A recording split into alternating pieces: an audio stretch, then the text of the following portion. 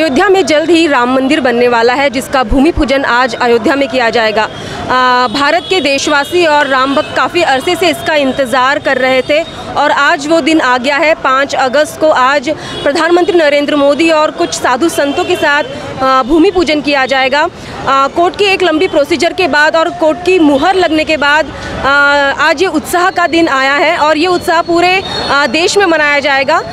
विदर्भ में भी कुछ ऐसा ही हमें नज़ारा देखने के लिए मिला। इस वक्त हम नागपुर में जहाँ के बड़कस चौक पर विधायक गिरीश व्यास और विधायक प्रवीण दत्त के इनके हाथों पूजा होने वाली है। इस वक्त यहाँ पर राम भक्त बहुत बड़ी संख्या में यहाँ पर मौजूद आई है उनसे हम बात करेंगे कि आखिर क्या फील कर रहे हैं वो, किस तरह का उत्साह उनमें नज़र आ रहा है। आ, सर क्या कहेंगे? आज बहुत बड़ा दिन है। आ, आप राम भक्त हैं। किस तरह आ, अपना अनुभव बताएँगे आप? आज इतने लोगों ने जो इतने साल का परिश्रम था वो ख़त्म हो रहा है। आज जय श्री राम। बहुत ही अच्छा लग रहा है। दिवाली जैसा लग रहा है। इस बार रामनवमी भी हो नहीं पाई लॉकडाउन की वजह से। तो ये एक मौका है कि रामनवमी का जैसा अ, सजावट अपने नागपुर में जैसी रामनवमी सजावट होती है वैसा सजावट और दिवाली के दिन जैसा लग रहा है। आज बहुत ही अच्छा लग रहा है। धन्यवाद। हमारे साथ और एक राम भक्त है, उनसे हम बात करेंगे। सर, क्या कहेंगे? आज बहुत बड़ा उत्साह का दिन है बड़कस चौक को, या फिर सभी और हमें भगवे नज़र आ रहे हैं। क्या उत्साह नज़र आता है? हमारे को तो आज ऐसा लग रहा है कि दिवाली से भी बड़ा त्यौहार है हमारे लिए। और जो हज़ारों लोगों ने आहुति दी थी अयोध्या में राम मंदिर बनाने के लिए, वो सफल हो गए।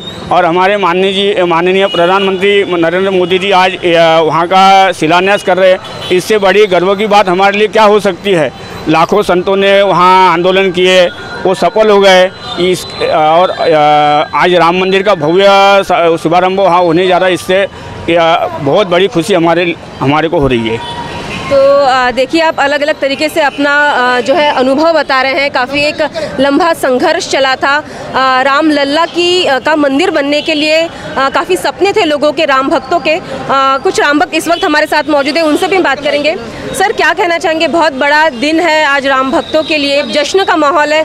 क्या फील कर रहे हैं बहुत प्राउड फील कर रहे हैं ये मोमेंट को, क्योंकि चार साल से जो हम एक तपश्चर्या कर रहे थे, आज उसका फल साकार हुआ है। हमारा कहना यह है समस्त हिंदू संगठनाओं को हिंदू परिवारों को मैं हार्दिक अभिवादन और अभिनंदन करता हूँ इस मौके पे। आ, सर कोरोना की पार्श्वभूमि है और इस समय ऐसा निर्णय लिया गया है।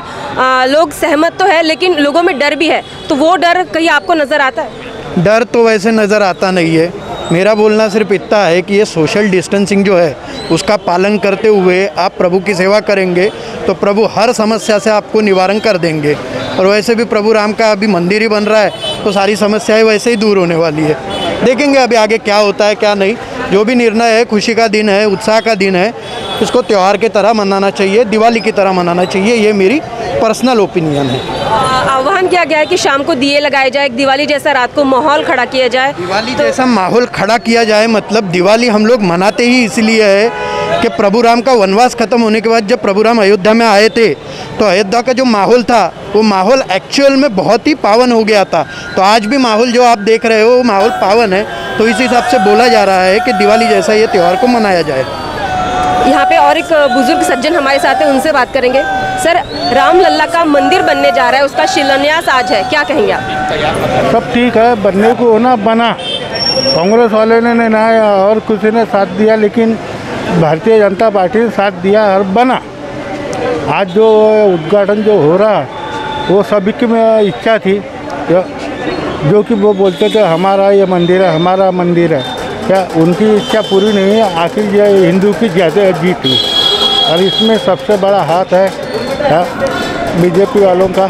नाम तो नहीं लेता लेकिन सभी बीजेपी वालों का कार्यकर्ता का हिंदू हिंदुस्तान में उनका नाम हो गया। कोरोना की वजह से उत्साह में कुछ कमी नज़र आ रही है आपको? कोरोना के वजह से क्या लोग घबराते हैं? अपन हम पहले से बोलते हैं अपनी सुविधा खुद ये करो कोरोना वोरोना घबराने को कोई बात नहीं। ये तो चलते जाएगा क्या उसकी भी दवा निकलेंगी लेकिन निकल निकल जाएँगी।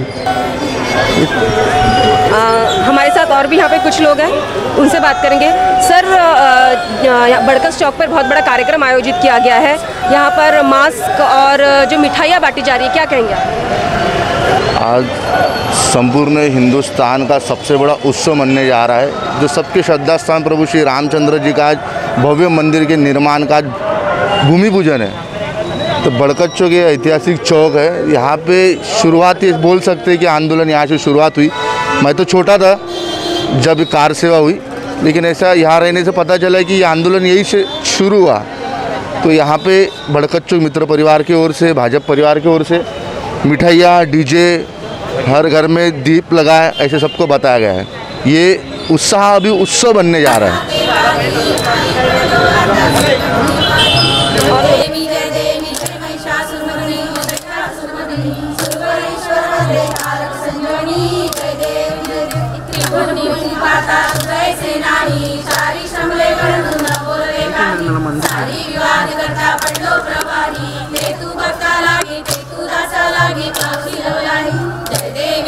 देवी जय देवी जय महिषासुरमर्दिनी दैत्यासुरमर्दिनी सुरवरेश्वर वंदे तारक संजीवनी, जय देवी जय देवी प्रसन्न वदने प्रसन्न होशी निराशा केशापासून सोडी, दुःखापासून सोडी सोडी हो पाशा आंबे तुझ वाचुनी कोण तुमरी नरनंतनी झाला पदपंकजलेशा जय देवी जय देवी जय महिषासुरमर्दिनी दैत्या सुरमर्दिनी सुरवरेश्वर वंदे तारक संजीवनी, जय देवी जय देवी